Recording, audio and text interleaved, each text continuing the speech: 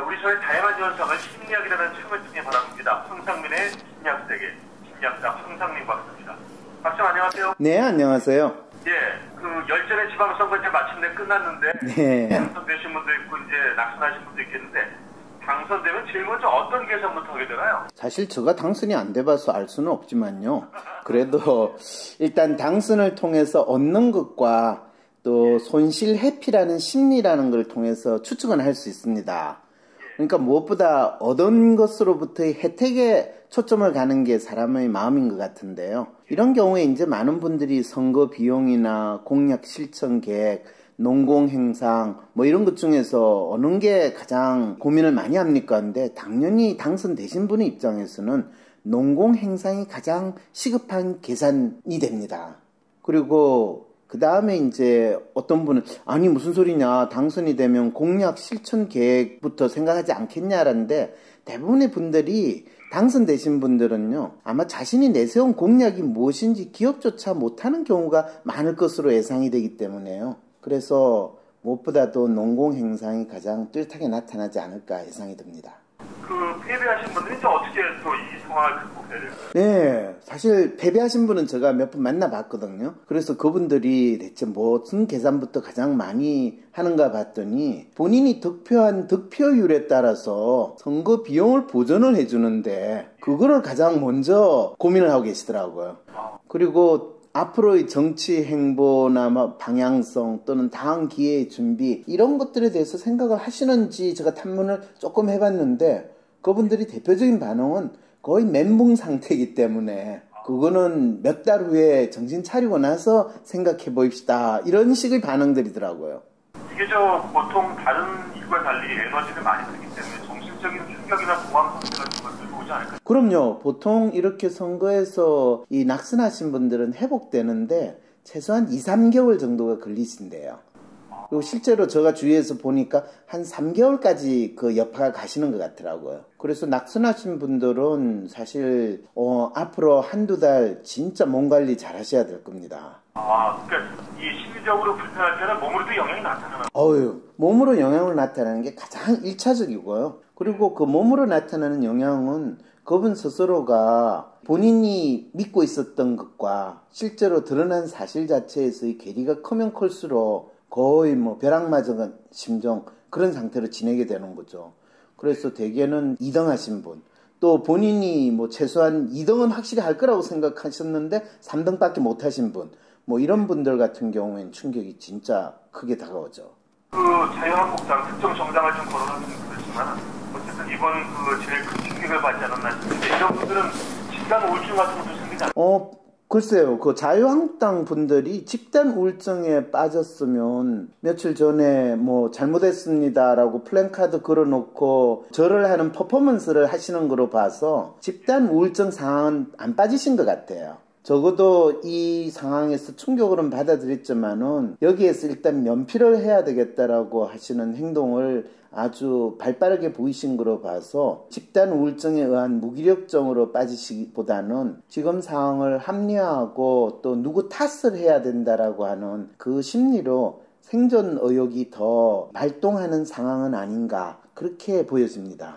사실 그 선거 과정 이번에도 여러 가지 이야기거리가 있는데 그 가운데 그 이재명 경기지사 또 김경수 경남지사 얘기가 좀 나와야 될 것 같은데 그렇죠. 국민의 정치적 그리고 그분의 사생활 이건 인과관계가 있나요? 연관 관계는 없이 지금 어, 사실 그거는 그 정치인을 이 대중들이 얼마나 좋아한다고 믿느냐에 따라서 달라지는 것 같습니다. 그 대중들이 그 사람을 좋아할까 미워할까 이럴 때 좋아하는 분명한 이유가 있으면 그 사람의 사생활 관계가 뭐든지 어떻게 보면 별로 거기에 개의치 않고 지지하는 마음을 계속 보여주는데 저 사람을 믿을까 말까 또 저 사람 뭔가 이 좀 뒤가 있을 것 같은데 라는 의구심을 가질 때 사생활이라는 거는 상당히 내관과 같이 효과를 발휘하게 되는 거죠. 아, 그러니까 기본적으로 정한 정치인이나 어떤 특별 유명 인사에 대한 호불호가 정해졌을 때 그것이 사생활이 부차적인 요소로 작용하는 거죠. 그렇죠. 그래서 이번에 뭐 이 이재명 씨나 김경수 경남지사 당선자들 같은 경우에 그분들에 대해서 싫어하시는 분들, 반대하시는 분들한테는 그분의 사생활들과 관련된 이슈들이 상당히 뭐 아주 결격 사유로 강하게 언급이 됐지만은 그분을 지지하는 분들 입장에서는 그게 왜 문제냐라는 식의 반응이 나오고 그거에 대해서 뭐 크게 영향이 없었다라는 결과가 지금 드러나기도 하는 거죠. 이것도 한번 좀 짚어봐야 될 부분인 것 같은데요. 여야 정당의 이제 6.13 지방선거 앞두고 2세 공약들이 많이 나오지 않았습니까? 네. 들어서 뭐 홍준표 자유한국당 대표는 김문수 서울시장 되면은 시청 앞에서 자신이 그 노래 10곡을 부르고 춤도 추겠다 뭐 이런 얘기도 했습니다. 그렇죠. 민주당 서울시 군장 후보는 어, 강남에서 민주당 60% 이상 득표하면은 어, 거리에서 싸니 강남 스타일 춤추겠다. 그 국회의원 재선도 송파에 출마했던 바른미래당 박정규도 특등 성적표 받으면 소통수에 표되겠다. 이게 좀 약간 쉽게 받아들이기 힘든 그러나 주목받을 만한 그런 공약들이 나와요. 그렇죠. 주목받을 만한 공약이긴 한데 정치인들이 어떤 본인들이 원하는 게 이루어지면 대중이나 국민들을 위해서 이런 걸 하겠다고 하면 나름대로 의미 있는 또 그것이 대중들이 원하는 거를 해야지. 뭐 서울 시민 중에 누가 홍준표 대표 노래 열곡 부르는 소리를 듣고 참을 만큼 인내심이 있을까요? 또 박정진 후보가 석촌호수에 뛰어들겠다고 그러면 누가 그거를 원할까요? 전혀 원하지 않는 그걸 본인들이 기분에 내켜가지고 하겠다는 것은 우리나라 정치 하겠다는 분들이 진짜 국민들이 무엇을 원하는가를 생각하기보다는 지 좋으면 다른 사람들이 다 원할 거다라는 착각 속에서 정치 활동을 한다는 것을 잘 보여주는 하나의 사례라고 할 수가 있는 거죠. 그리고 또 하나 궁금한 게, 그, 이번에 이제 선거 출마하신 분들과 상관없이 그 투표하신 국민들 중에서도 선거에 지나치게 몰입하셨던 분 중에서 일상으로 지금 복귀 못하시는 그렇죠. 분 계시지 네. 사실 그 말이 이제 많은 분들이 본인이 기대했던 거, 또 믿고 싶었던 게 이루어지지 않았기 때문에 세상이 어떻게 이렇게 되나. 뭐 그게 조금 전에 언급하신 아마 홍준표 씨 같은 경우에 이 나라가 뭐 누구한테 넘어갔다 뭐 이런 식의 표현을 하셨을 때 그분 같은 경우에 진짜 세상을 얼마나 본인이 보고 싶은 대로 보는가 라는 거를 잘 보여주는 하나의 행동이지 않을까 싶습니다. 그리고 이제 정말 중요한 건 또 그 아까 저 박사님도 그런 얘기 하셨지만 후보들 가운데 많은 공약들 기억이 잘 못할 수도 있다는 얘기 하셨거든요. 네. 이제 지지자이면서 또 그 선거에 대한 공약도 기대를 했기 때문에 투표했을 텐데 앞으로 그저 선거를 바라보는 분들 일반적인 분들 선거에서 이제 많이 벗어나야 될 텐데 아직도 분위기 아주 많이 몰입되어 있지 않은 선거의 큰 분위기를 좀 가라앉다는 분들은 일상으로 돌아오기 위해서 작업이 필요할까요? 사실 일상을 돌아오는 거는 크게 문제가 안 됩니다. 특히 이번 주부터 러시아 월드컵이 시작이 됐기 때문에 그분들 같은 경우에는 선거에 대해서 흥분을 하신 분이면 그 흥분을 또 똑같이 월드컵에 대한 흥분으로 스위치를 하면 크게 문제가 발생은 하지는 않고요. 만일 축구에 관심이 전혀 없으신 분이라면 이제 마치 본인이 허탈한데 이 허탈한 마음을 어떻게 달래야 될 것인가 이런 고민은 하게 되는데 대개 어떤 하나에 몰입하고 흥분하시는 분은 본인이 또 금방 흥분하는 거를 또 쉽게 찾을 수가 있기 때문에 그런 분의 심리까지 걱정할 필요는 없지 않을까 이게 저 생각입니다. 가족 간에 그저 이제 선거 때 많이 저 말다툼도 생기고 정치적으로 견해가 달랐는데 다툴 수도 있는 그렇죠. 그런데 이런 경우들도 저 시간이 지나면 당연히 극복하는 계기를 좀 만들어야 되나요?